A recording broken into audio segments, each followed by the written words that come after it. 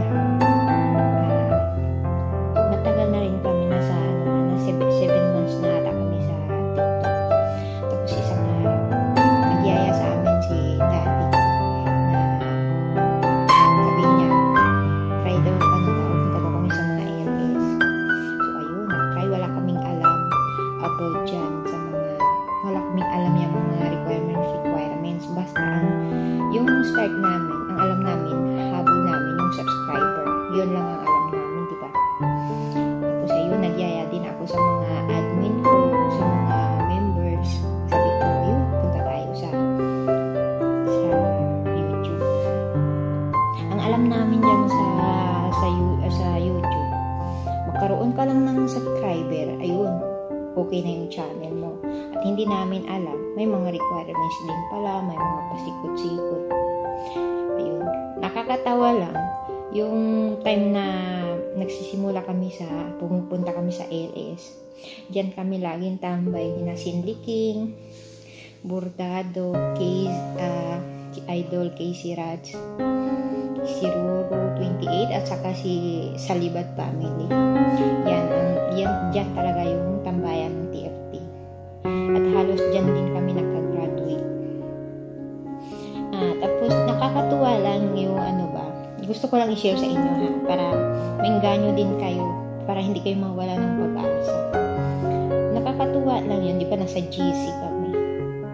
Yung, yung isang grupo nasa ibang LS, tapos yung ibang grupo nasa ibang LS. Tapos, di ba,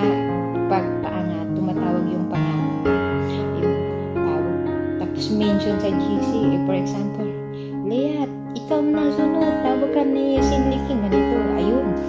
Pupunta naman si, si Leah doon, parang ano ba, parang mga singaling babalak pa naman. Tapos, ayun, pag tumahit, uso kasi ang paangat dati, di ba? Kasi hindi pa taglagas. Tapos, mention na naman sa GC, uy, ikaw na sunod, ganito.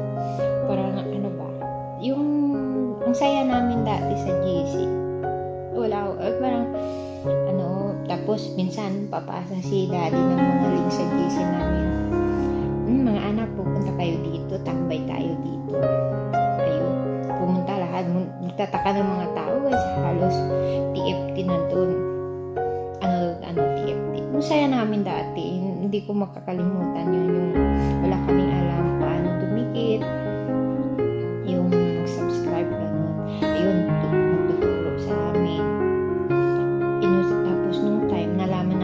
kailangan pala yung ano, 4,000 watch hour. Tapos wala kaming alam dyan sa mga playlist, wala kaming alam dyan. Na. Pero si Cindy King, si Cindy King dahil lagi kami tambay dyan, si Cindy King nagturo sa amin kung paano kami ano, gumawa.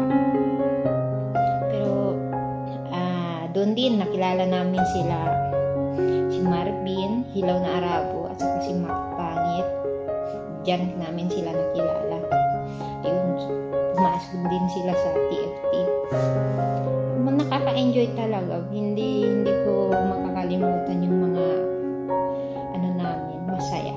Pero isang araw, na ano din yung TFT, nakaproblema. Parang nawala ng landas. Kumbaga sa isang pamilya, yung, ako yung nanay, yung tatay, naghanap na ng iba, parang ganun ba? Tapos yung mga anak, nakaroon na ng ibang, ibang pamilya. So parang ako na lang, parang naiwan ako sa bahay. Parang ganun ba? Yung nawala na ako ng gana sa YT. Yung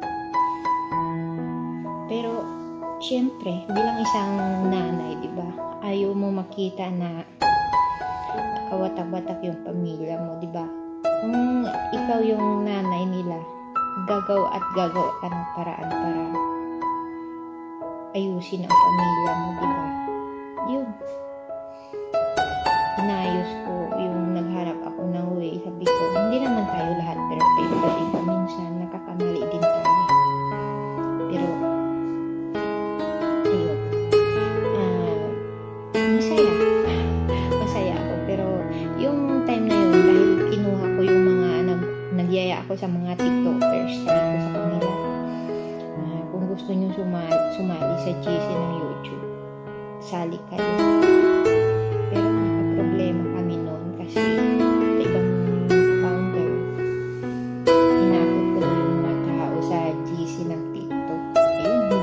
active yung TikTok.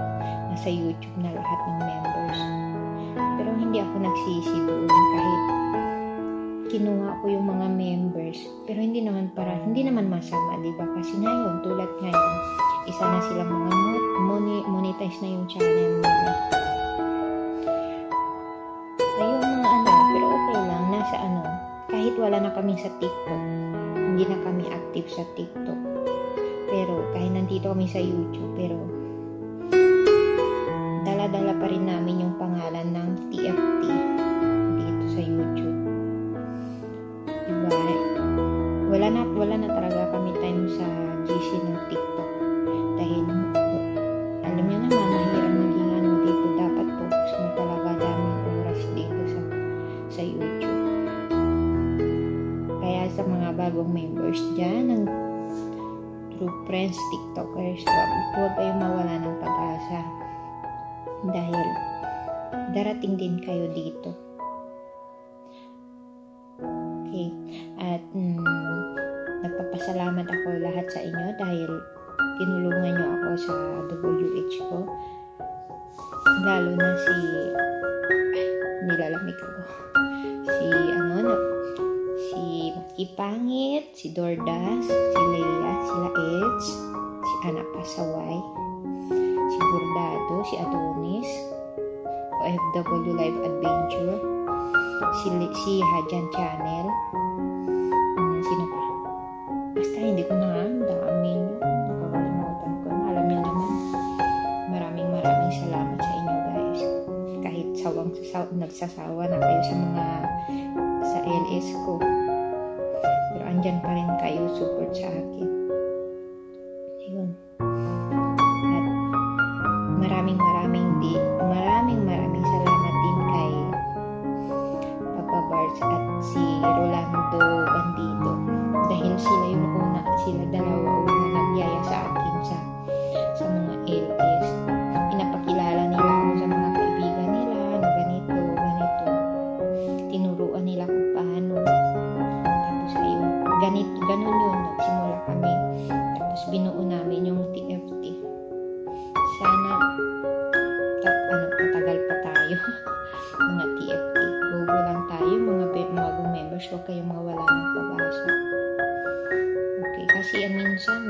din ako, nawala na ako ng pag-asa. Dahil yun. Pero, dahil sa tulong ng mga anak ko, parang nabuhay ulit ako. Dahil si Alea Dordas, ah, ano ba tawag dyan? Wala na akong masabi. Pakaiyak ko. Basta.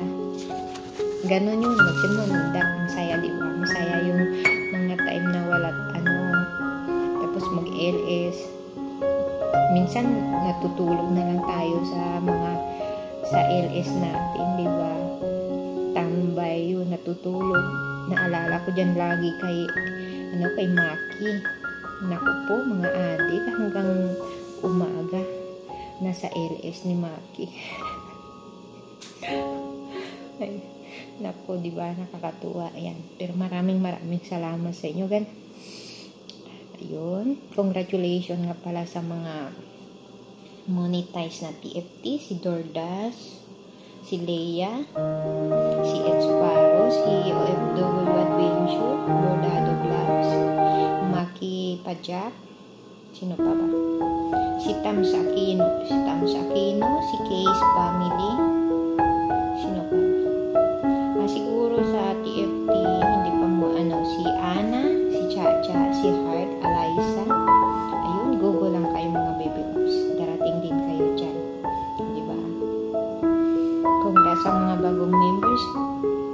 Kung sa